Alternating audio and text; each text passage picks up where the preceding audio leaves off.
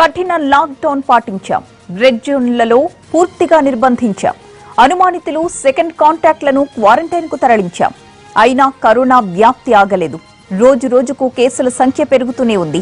దేశవ్యాప్తంగా వారం రోజులుగా ఆరు వేలకు తగ్గకుండా కొత్త కేసులు వస్తూనే ఉన్నాయి. చూస్తుండగానే కేసులు వందలు వేలు దాటాయి. ఇప్పటికే లక్ష దాటిన కేసుల సంఖ్య ఇవాళ లక్షన్నర మార్కుని క్రాస్ చేసింది. ఇదిలాగే కొనసాగితే జులై నాటికి పది లక్షల కేసులు నమోదైనా ఆశ్చర్యపడక్కర్లేదు. మరణాలు కూడా పెరుగుతూనే ఉన్నాయి. కరోనాతో నాలుగు వేల మూడు వందల ముప్పై ఐదు మంది ప్రాణాలు కోల్పోయారు. మొత్తం కేసుల్లో అరవై వేల మందికి పైగా కరోనా నుంచి కోలుకుని డిశ్చార్జ్ అయ్యారు. మరో ఎనభై వేల మందికి పైగా ఆసుపత్రుల్లో చికిత్స పొందుతున్నారు.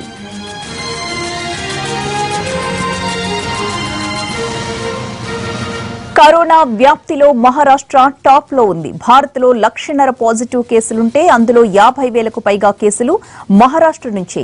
ఆ తరువాత తమిళనాడులో పదిహేడు వేల మందికి పైగా బాధితులున్నారు. ఇక దేశ రాజధాని ఢిల్లీ గుజరాత్లో పద్నాలుగు వేలకు పైగా కేసులున్నాయి. లాక్డౌన్ సడలింపుల తరువాత కేసులు అమాంతం పెరుగుతున్నాయి. అంతకు ముందు రోజు వెయ్యి పదిహేను వందలు మాత్రమే నమోదైన కేసులు ఇప్పుడు ఒక్కసారిగా భారీగా పెరుగుతున్నాయి. లాక్డౌన్ సడలింపుల వల్లే జూన్ నెలాఖరులో కరోనా విస్ఫోటనం చెందే ప్రమాదం ఉందని సీసీఎంబీ హెచ్చరిస్తోంది. వలస కూలీలను సొంతోళ్ళకు వెళుతుండటంతో వైరస్ పట్టణాల నుంచి పల్లెలకు కూడా వ్యాపించే ప్రమాదం ఉందని చెబుతోంది. అంతేకాదు ఇప్పుడు జరుగుతున్న కరోనా పరీక్షల సంఖ్యను పెంచితే కోవిడ్ కేసుల సంఖ్య వాస్తవానికి పదింతలు ఎక్కువగా ఉంటుందని అంటోంది సీసీఎంబీ.